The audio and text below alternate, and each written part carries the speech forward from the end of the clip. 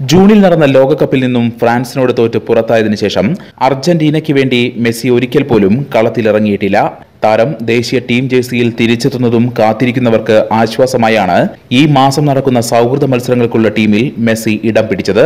വെനിസുലയ്ക്കും മൊറോക്കോയ്ക്കുമെതിരെയാണ് ഈ മാസാവസാനം അർജന്റീന സൗഹൃദ മത്സരങ്ങൾ കളിക്കുന്നത്.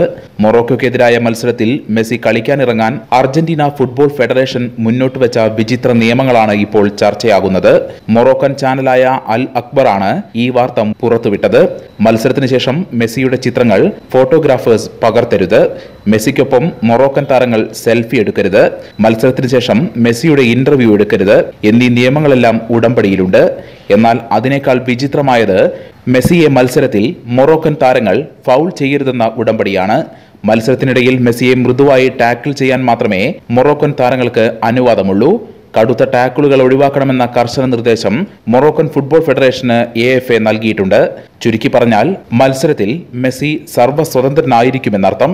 സീസണിൽ ബാഴ്സയ്ക്കൊപ്പം നിരവധി മത്സരങ്ങൾ ബാക്കിയുള്ള മെസ്സിക്ക് പരിക്ക് പറ്റാതിരിക്കാനാണ് ഇത്തരമൊരു ഉടമ്പടി എന്നാണ് സൂചനകൾ.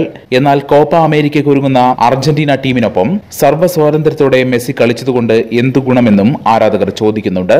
അതേസമയം മത്സരത്തിൽ മെസ്സി അറുപത് മിനിറ്റെങ്കിലും കളിക്കണമെന്ന ആവശ്യം മാത്രമാണ് മൊറോക്കൻ ഫുട്ബോൾ ഫെഡറേഷൻ അർജന്റീനയോട് ആവശ്യപ്പെട്ടിരിക്കുന്നത്.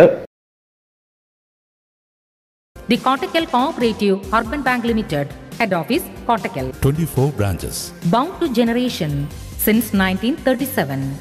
Seenat Silts and Saris, Metro Plaza, Thiru Road, Kottakal.